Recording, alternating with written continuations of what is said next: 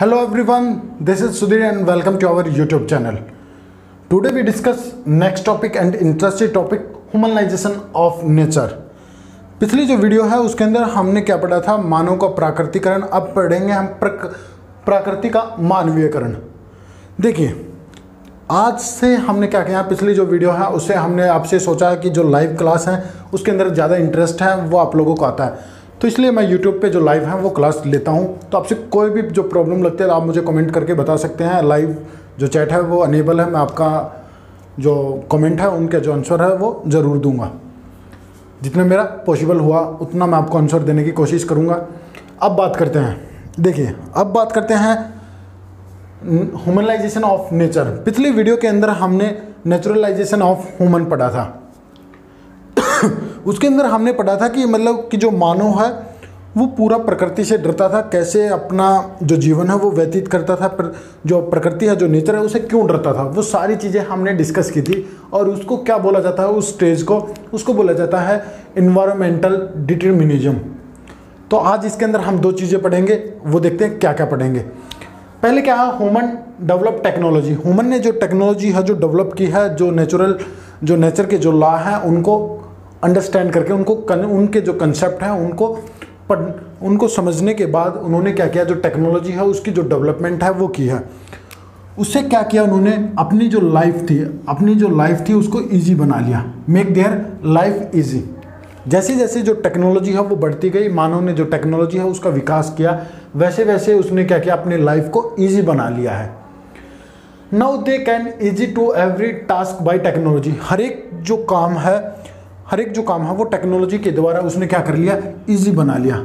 हर एक काम को टेक्नोलॉजी के द्वारा उसने ईजी है, वो बना लिया किसने? मानव ने। जैसे इंडस्ट्री बना ली हेल्थ सेंटर बना लिए। हेल्थ सेंटर जैसे जो डीएनए है, यहाँ पे याद रखना डीएनए का।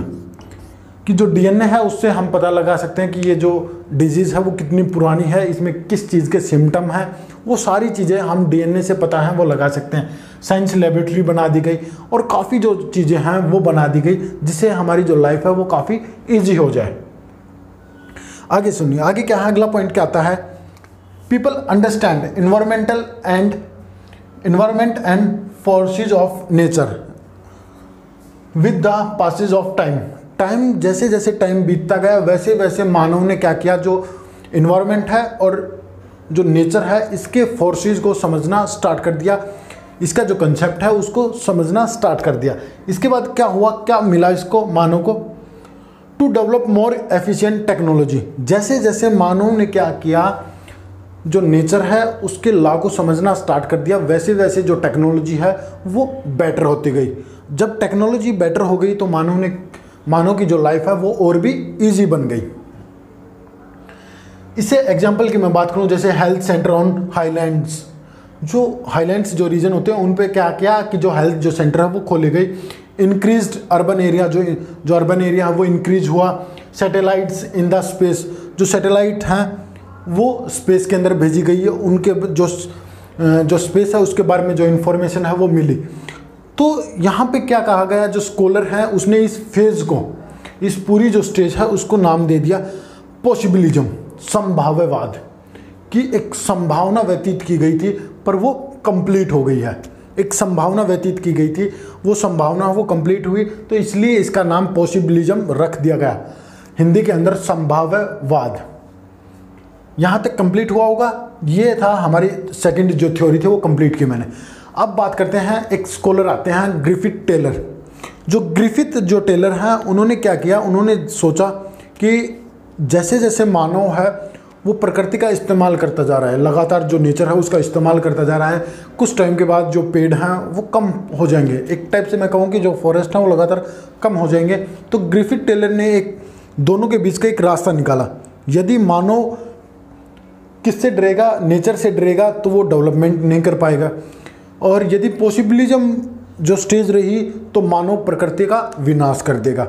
दो अलग चीज़ें थी।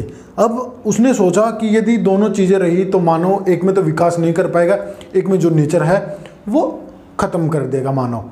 तो उसने दोनों के बीच के एक रास्ता निकाला, जिसको बोला जाता है new determinism go stop and go determinism stop and go determinism क्यों कहा गया है? कि जब हमें नेचर की आवश्यकता होती है, जब हमारी जब आवश्यकताएँ होती हैं, जब ही हम नेचर का इस्तेमाल करें। उसने क्या कहा? देखिए, जो ग्रिफिथ, जो टेलर थे, उसने इंट्रोड्यूस कराया a middle path between environmental determinism and possibilism यहाँ तक आपको क्लियर हुआ होगा, उसका जो नाम था, वो है न्यू डिटर्मिनिज्म और स्टॉप एंड गो डिटर्मिनिज्म ये इसने नाम दिया। यहाँ पे देखिए, यहाँ पे क्या बताया गया है? उसने ये बताया कि ये तो है हमारा नेचर और ये है मानव। जब मानव को जब आवश्यकता होती है तो लगातार इसका जो इस्तेमाल है, वो करता रहता है। इस्तेमाल करता रहा तो कुछ टाइम के बाद ये क्या हो जाएगा? कम होता जाएगा, ख़त्म होता जाएगा। तो एक लिमिटेड टाइम के बाद ये है, ये समाप्त हो जाएगा। जब ये समाप्त हो जाएगा, एक लिमिटेड टाइम के बाद तो क्या होगा? जब ये समाप्त हो गया तो मानव को बड़ा नुकसान होगा। तो इसलिए इन्होंने कहा ग्रिफिथ टेलर ने, जब मानव को आवश्यकता हो, जब इसका इस्तेमाल किया जाए। जब आवश्यकता न हो तो इसको रोक देना चाहिए कि अब हमें इसकी आवश्यकता नहीं है तो हम नेचर का इस्तेमाल नहीं करेंगे। तो इस चीज़ को समझाने के लिए उन्होंने जो हमारी ट्रैफ़िक लाइट है, उसका एग्ज़ाम्पल दिया। जो ट्रैफ़िक लाइट है, उसका एग्ज़ाम्पल दिया, जैसे रेड और ग्रीन का। रेड और जो ग्रीन है। मेनली ये है, एक येलो भी है। येलो का ज़्यादा वो नहीं है हमारे यहाँ पे। तो उसने जो ट्रैफ़िक लाइट है, उसका एग्ज़ाम्पल दिया और बताया कि जब रेड लाइट हो रेड लाइट मतलब जब हमारी आवश्यकताएँ हैं, वो न हो तो हमें नेचर का इस्तेमाल नहीं करना चाहिए। जैसे हम ट्रैफ़िक लाइट पे होते हैं तो जब रेड लाइट आ जाती है तो हमें रुकना चाहिए। ये संदेश वो हमें देती है। तो यहाँ पे जो ग्रिफिथ टेलर हैं, वो कह रहे हैं, जब हमारी आवश्यकताएँ हैं, वो नहीं होती, जब हमें आवश्यकता नहीं है किसी चीज़ की तो हमें जो नेचर है, उसका इस्तेमाल है, वो नहीं करना चाहिए। ग्रीन। ग्रीन का मतलब है जब हमें आवश्यकता हो। जब हमें उस चीज़ की आवश्यकता हो, तभी हम इस्तेमाल है, वो करें। ये नहीं है कि जैसे हम जो फॉरेस्ट होते हैं, उनसे जो लकड़ियाँ हम वो लाते हैं तो ये नहीं है कि आज लाए, फिर कल भी लाए, परसों भी। मतलब काफ़ी हमने क्या किया स्टोर करते रहे। अपने फ़ायदे के लिए, अपने लालच के लिए हम उसको बेचते हैं या फिर उसको स्टोर करते हैं। तो उससे क्या होगा, कुछ टाइम के बाद वो एरिया है, वो ख़त्म हो जाएगा। जहाँ वो, उस एरिया के अंदर जो प्लांट्स हैं वो समाप्त हो जाएँगे। तो ऐसा हमें नहीं करना चाहिए। तो ये बता रखा है ग्रिफिथ टेलर ने। अब यहाँ पे क्या है? जो न्यू डिटर्मिनिज्म जो बताती है tell tell to make control on nature जो न्यू डिटर्मिनिज्म है, ये हमें बताती है कि हमें नेचर पे कैसे कंट्रोल है, वो करना चाहिए। ये, आप, ये जो ये पॉइंट है, वो याद रख सकते हैं। कि न्यू डिटर्मिनिज्म जो न्यू डिटर्मिनिज्म है, वो हमें बताती है कि हमें नेचर पे कैसे कंट्रोल है, वो करना चाहिए। आगे देखिए। नाउ आज के समय ह्यूमन डोंट अफ्रेड जो मानव है, वो आज के समय प्रकृति से नहीं डरता है। जो नेचर है, उससे नहीं डरता है। Using nature blindly for the development जो मानव है, आज वो प्रकृति से नहीं डरता है और वो अपने विकास के लिए अंधाधुंध। जो टेक जो अंधाधुंध है, नेचर का इस्तेमाल है, वो कर रहा है। मैं कहूँ कि वो अपने फ़ायदे के लिए ज़्यादा जो इस्तेमाल है, वो कर रहा है किसका? नेचर का। वो ये नहीं देखता कि बाद में क्या इफ़ेक्ट होंगे, वो कुछ नहीं देखता। केवल अपनी जो डेवलपमेंट है, उसके लिए जो नेचर है, उसका लगातार जो इस्तेमाल है, वो कर रहा है।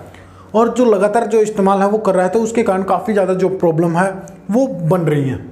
काफ़ी ज़्यादा जो प्रॉब्लम है, वो मानव को आज फेस करनी पड़ रही हैं। जैसे मैं बात करूँ कि जो ओजोन लेयर है, उसकी ओजोन लेयर जो डिप्लेशन है, वो हो रही है। ग्लोबल वार्मिंग है, वो बढ़ रही है। और जो आइस है, जो ग्लेशियर में जो आइस है, वो लगातार मेल्ट मेल्ट है, वो होती जा रही है।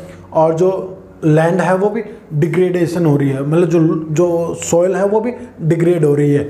तो काफ़ी ज़्यादा जो फैक्टर हैं, वो आते हैं। जैसे ग्रीन हाउस इफ़ेक्ट है। In this damage the environment in the greenhouse effect जो ग्रीन हाउस जो इफ़ेक्ट है, वो देखने को मिलता है। ओजोन लेयर डिप्लेशन हो रही है ग्लोबल वार्मिंग है मेल्टिंग ग्लेशियर है reducing the level of lands ये जो प्रॉब्लम है वो फेस की जा रही हैं। तो यहाँ पे जो ग्रिफिट जो टेलर है, उसने काफ़ी अच्छा एक जो थ्योरी है वो दी है कि हमें मानव, जो मानव है, हम जो मानव हैं या फिर जो नेचर है, इन दोनों में एक क्या होना चाहिए? एक लिमिटेड एक लिमिट होनी चाहिए कि जब हमें आवश्यकता हो, जब भी हम इस चीज़ का इस्तेमाल करें। ये नहीं कि हमारी आवश्यकताएँ, आवश्यकता है नहीं, हमने फिर भी उसका इस्तेमाल है, वो किया है। ऐसी चीज़ नहीं करनी चाहिए। बस आज की क्लास इतनी ही थी। आपको वीडियो अच्छी लगी तो लाइक करें शेयर करें और चैनल को सब्सक्राइब ज़रूर करें ऐसी ही वीडियो देखने के लिए। Thank you